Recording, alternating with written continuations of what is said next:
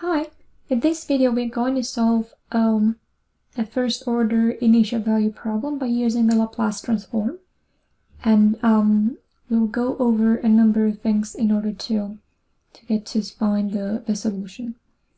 So um, first, since the right hand side of the ODE is a function defined by cases, we are going to rewrite uh, that right hand side in terms of unit step functions so that when we apply the Laplace transform on both sides of the ODE, next we get to use um, some properties of the Laplace transform, um, namely the Laplace transform of derivatives and the Laplace transform of unit step functions. Um, then we are going to uh, find to solve for the Laplace transform of the of the solution to this problem. And finally, we will find the solution to the problem by computing the inverse transform of the transform of the function. Okay, so let's start with uh, rewriting the right-hand side of the ODE in terms of unit step functions, so we can use um, the property of, of the Laplace transform with unit step functions, and then and then we continue with other parts. So um, remember that um, Unit step functions are very special. Um, they're functions that um, satisfy the following. So say um, the unit step function centered at 3 is a function that takes a value 0 up to 3, where it takes a step up and starts taking the value 1. The unit step function centered at 6 is the same thing, but instead of uh, having to step at 3, we have a step at 6. So the function takes the value 0 up to t equals 6. And then um, it steps up to the height, uh, height 1. So here we have this kind of picture. Um, unit step functions are important in applications. Uh, for instance, if we um, if we think of applications in um, in electric engineering, uh, often there would be some, say, circuits that would, um, for which external forces would get uh, switched off or on. Things get turned off and on, and uh, turning off and on brings um, gaps and, and um, jumps in functions, and then we can see that step functions uh, arise naturally in, in that kind of application. Um, now, we want to match um, the function we were given, the function defined by cases, with an expression that looks like this. Uh, something times the unit step function centered at 3 plus something times the unit step function centered at 6 plus a constant or something in general. It doesn't have to be a constant, but we will see it will be a constant in our case. So let's see. Um, since we want um, the function defined by cases to match this expression, we want, in particular, um, the following. So say at t equal to 2, uh, the function by cases would give us a 0, and that should be equal to a times u at 2 minus 3 plus b times u at 2 minus 6 plus c. And we will get a 0 from here and a 0 from here, because those unit functions are always taking the value 0 before where the step takes place.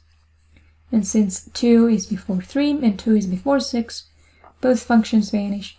So unit step functions vanish, so we end up with c equals uh, 0. Uh, on the other hand, um, on the uh, when t equals say 4, so we move to the next case, uh, we get the number 10 and at the same time, we should get a times u at 4 minus 3 plus b times u at 4 minus 6 and then plus um, the constant c.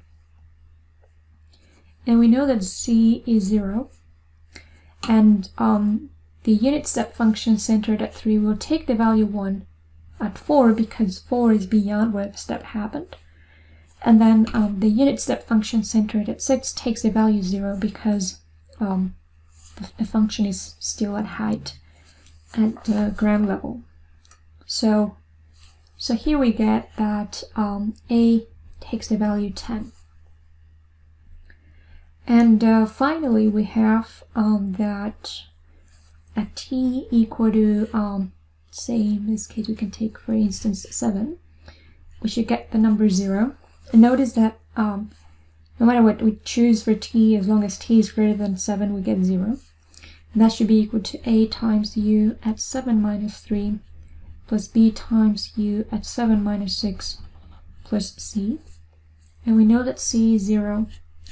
And uh, unit step function centered at 6 will take the value 1 at 7 because 7 is beyond where the step happened.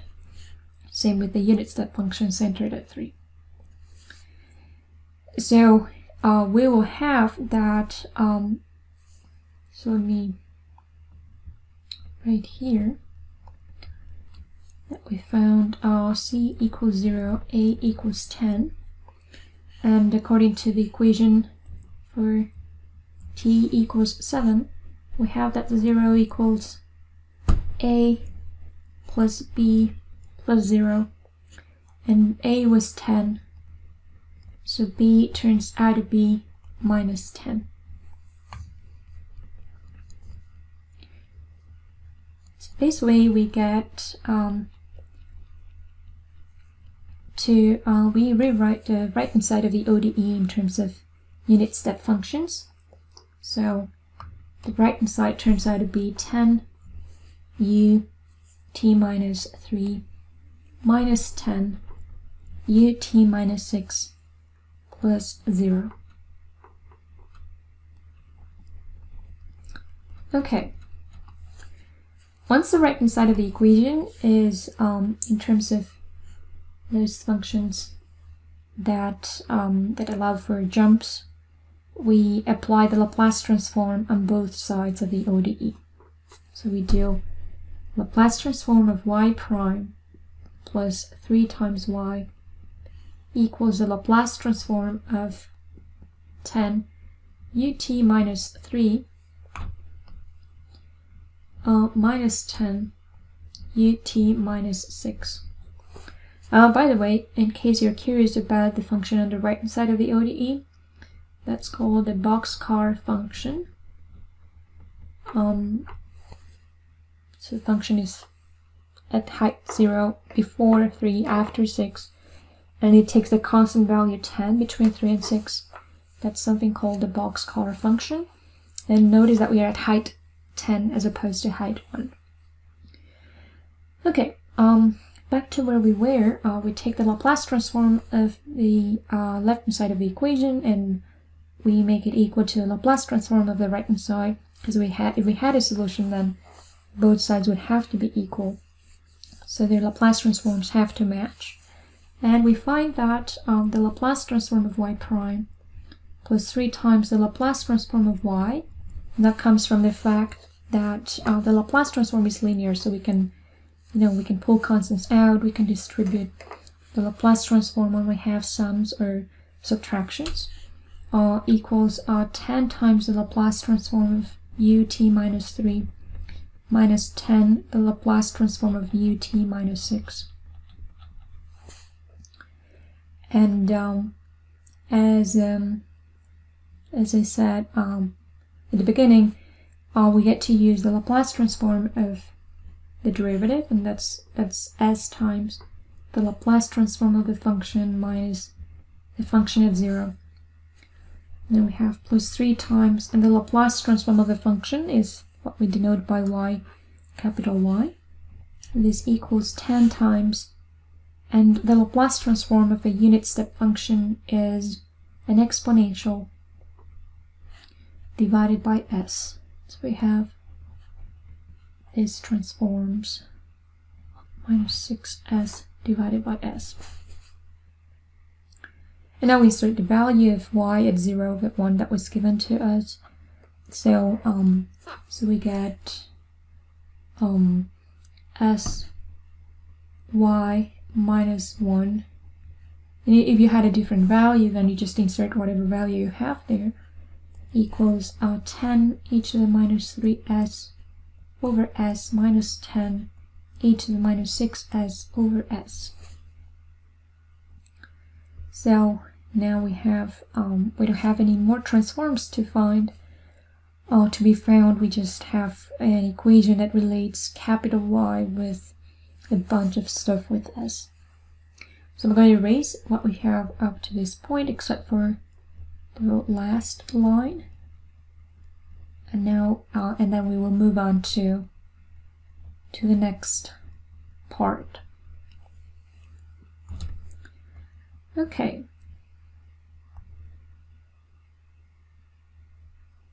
Yeah. Okay. Um, okay, so once we have an equation um, for that involves capital Y and uh, things with S, we want to solve for Y.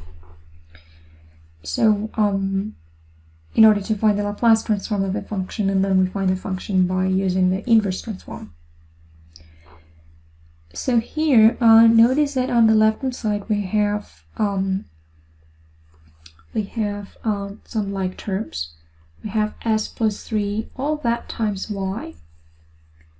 And then um, we can bring the minus 1 over to the right to get uh, 10 e to the minus 3s over s minus 10 e to the minus 6s over s plus 1. And um, this is the same as having y equals 10 e to the minus 3s over s times s plus 3 minus 10 e to the minus 6s and then s s plus 3 plus 1 over s plus 3. So we're dividing everything by the coefficient of capital Y. In this way, we get the Laplace transform of y, and we find that um, the Laplace transform of y is given by, um, by this equation. So I'm going to erase this part and leave the Laplace transform of y.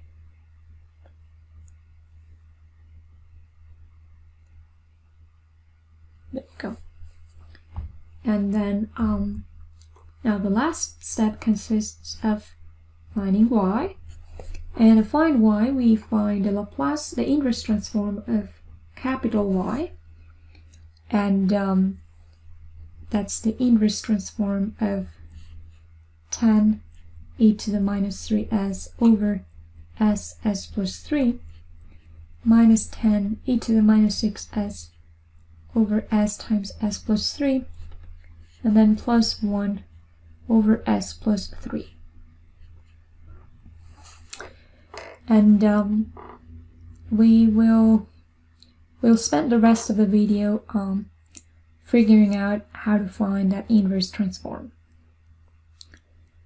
Okay, um, I wanted to say if you have any questions at any point, um, please don't hesitate to make comments and I will be happy to help. And um, I know these problems are really long, but um, don't don't wait until you get to the very last part to to think about something you didn't feel quite sure about in the middle. So you know, ask questions, work on things on the go, and then um, and yeah, if you if you want to make a comment or um, if you want to know more about something, then you're more than welcome to to um, to make a comment and I will follow up with you.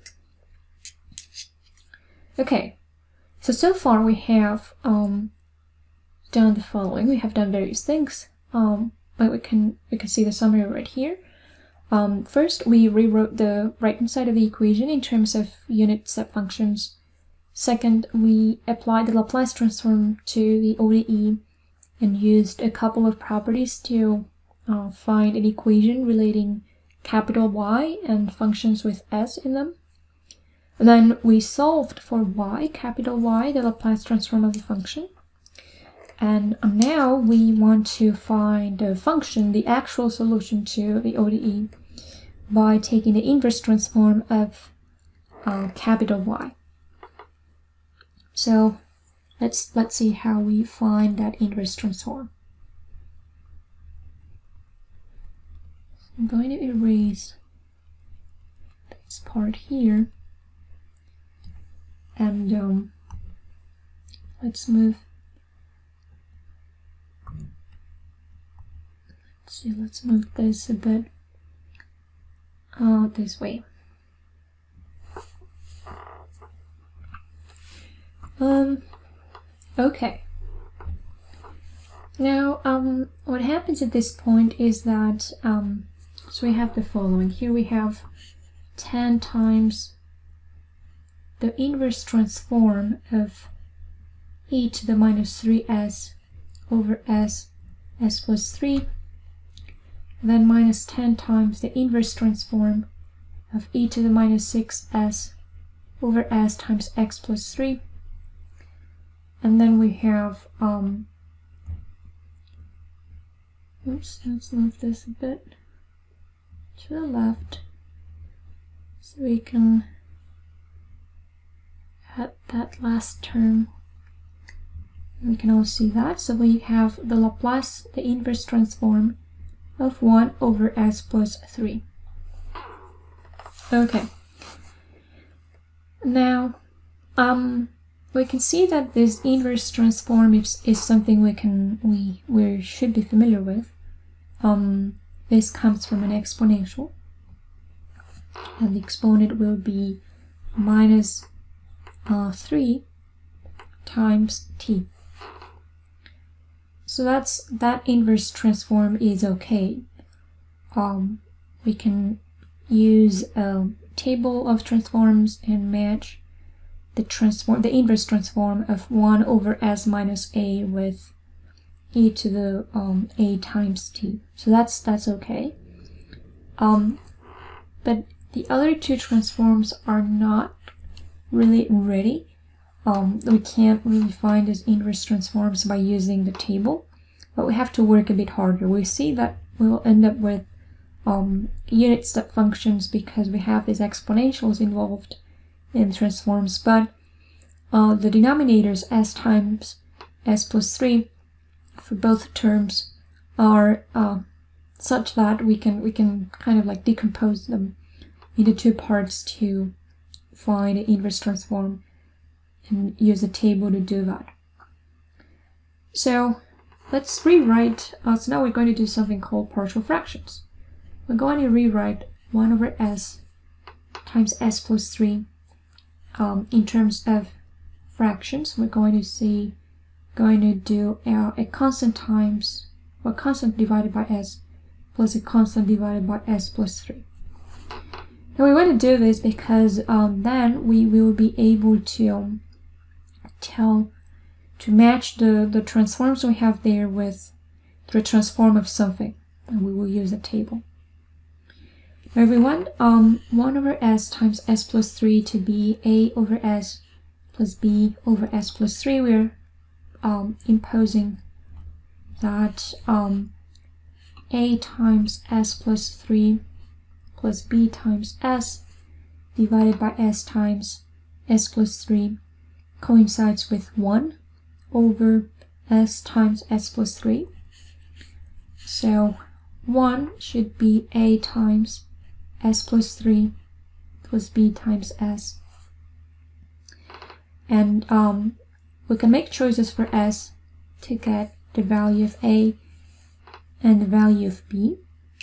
And um, actually we can see that um, for instance, when, um, um, so let's move this a bit like this. So we have enough space here.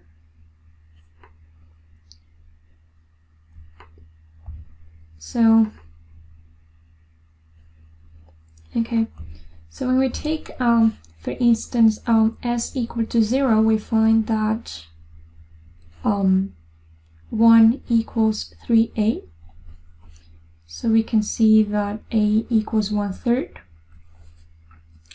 And when s equals minus 3, we get that 1 equals minus 3b. So b is minus one third. So that way we can do the following. So I'm going to rewrite this. I'm going to move this a bit to the top so we don't forget what we are trying to find. And I will work on the bottom part. So we find that um, 1 over s times s plus 3 equals 1 third times 1 over s and then minus 1 third 1 over s plus 3 and then what happens is that um, we can rewrite um, the quotient e to the minus 3 over s times s plus 3 as a third of e to the minus 3s over s minus e to the minus 3s over s plus 3 and that's that's a good thing because then we can see that um, we're doing e to the to this exponential divided by s, this exponential divided by s plus 3. And the inverse transform of that is something we know um, because the exponential of minus 3s divided by s corresponds to the Laplace transform of a unit step function. We get one third and um, that will give us a unit step function centered at 3 and um, the second part will give us um, so instead of um, just the unit step function we actually have um, an exponential because 1 over s plus 3 corresponds to the Laplace transform of um, of an exponential so um, we will have um, we will have the following. So minus 3 and then we will have um, t minus 3 and we will have a unit step function. And we're going to rewrite this. Things are getting bulky. Um, it's always like that. I'm sorry that I have to move so many things around because I don't want to lose um, like what our goal is. So we have so we have this and then we will have the unit step function at uh, t minus 3. And um, what I'm using here is that um, the Laplace transform of a function that is um, translated so in this case, we're translating this by um, by 3.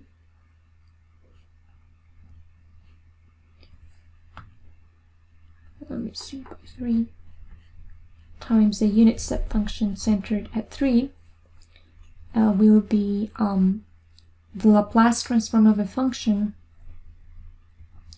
times the exponential.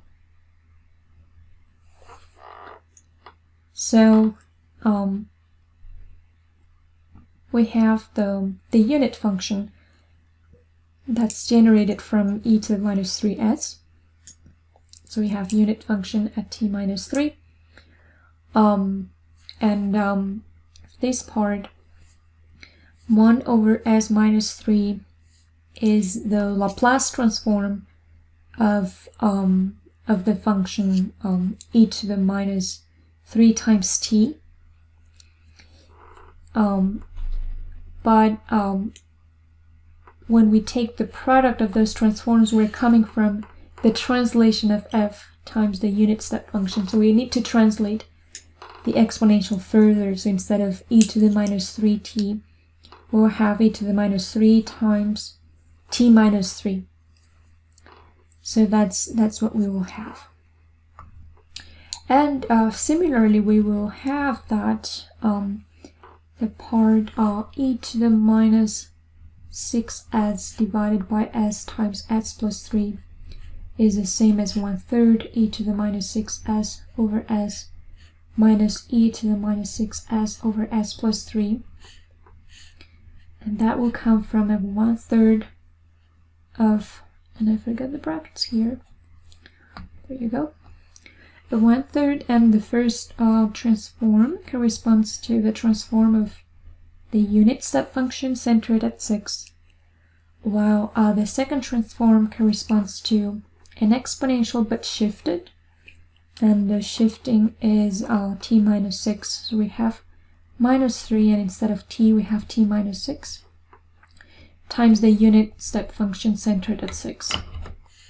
So that's what we have for that part. So, um, okay, so we have that um, the function we're looking for, the solution to the equation, uh, will be the following one. So 10 times, and remember that this transform came from, from this function over here. So 10 times that, that's going to be 10 thirds of, um, and there we have, um, we can actually take the unit step function as a, as a common factor. And then inside we have a 1 minus e to the minus 3 times t minus 3. Um, that part is gone. And then the second term will be um, minus 10 thirds unit step function this time t minus 6 and then we get 1 minus e to the minus 3 t minus 6 and then um, we have um, a simple Laplace transform that's an exponential of minus 3t and we don't have any any translation um, we just have minus 3t and um, we don't have any we don't have any exponential in the Laplace transform so we don't generate any unit step function. And that's the answer to this problem so so there we have um, there we have the answer to the problem and uh, to summarize what we did in order to find y uh, like in the very last step we uh, used partial fractions to decompose 1 over s times s plus 3 into two parts, one corresponding to 1 over s and the other one corresponding to 1 over s plus 3, and we had some coefficients. And we did that so that we could match um, e to the minus 3s divided by s with the Laplace transform of u of t minus 3, and similarly with e to the minus 6s divided by s. And then we matched um, e to the minus 3s divided by s plus 3 with the Laplace transform of an exponential times the unit step function. And the exponential was shifted because of the, of the property of the Laplace transform with functions that are shifted times the unit step function with the same shifting. And, um, and we ended up with this, with this solution. Okay, uh, if you have a different initial condition, you get slightly different constants. Um, notice that we used initial condition somewhere on the way to finding um, that was the Laplace transform of a function. So you you get some constants, some diff like slight differences in constants, but let's say the idea is very similar. Okay, so again, if you have questions or comments or anything you want to say, then uh, please make a comment and I will be happy to be in contact with you. That's all for this video and um, yeah that's it. Bye bye